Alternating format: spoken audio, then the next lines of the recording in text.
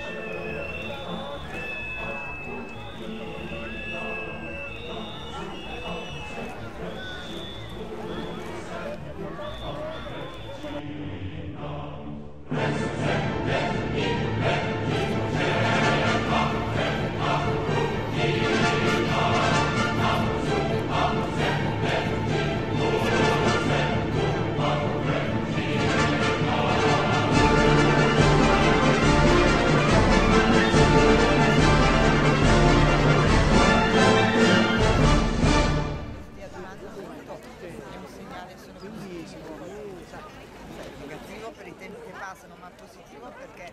dimostra proprio nei fatti il grande approfondimento che il procuratore sta facendo sulla vicenda